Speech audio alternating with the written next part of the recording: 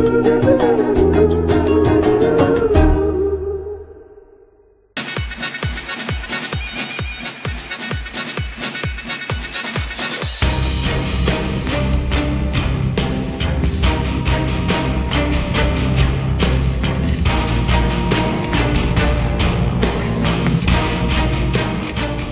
جاء قرار مجلس الوزراء بعودة النشاط الكروي في العشرين من مارس المقبل بردا وسلاما على مئات الأندية والآلاف من اللاعبين بعد فترة ترقب دامت لأكثر من أسبوعين. منذ اتخاذ الحكومة قرارها بوقف المسابقات المحلية عقب حادثة ملعب الدفاع الجوي التي وقعت قبل مواجهة الزمالك وإمبي في الثامن من فبراير الجاري وأودت بحياة عشرين شابا من جماهير الزمالك. الحكومة قررت خلال اجتماعها صباح اليوم تشكيل لجنة تضم وزارتي الشباب والرياضة والداخلية واتحاد كرة القدم المصري لبحث ترتيبات عودة المسابقات المجمدة بدون جمهور بعد انتهاء فترة الحداد أربعين يوما.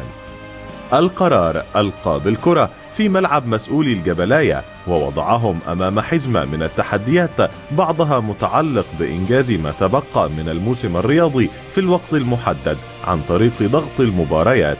والبعض الآخر بدراسة كل السبل الكفيلة بتوفير عوامل الأمان داخل الملاعب وخارجها عن طريق مخاطبة الجهات المعنية لمنع تكرار مثل هذه الحوادث المؤسفة ماذا بعد قرار مجلس الوزراء بعودة النشاط واختفاء الهاجس المخيف الذي كان يهدد بالقضاء على كرة القدم المصرية لفترة طويلة؟ كيف ستتغلب لجنة المسابقات برئاسة عامر حسين على إهدار أكثر من أربعين يوما من عمر المسابقة الأهم والأكبر في أرض الكنانة؟ وهل ستختار ضغط المباريات لإنهاء الموسم في الوقت المحدد؟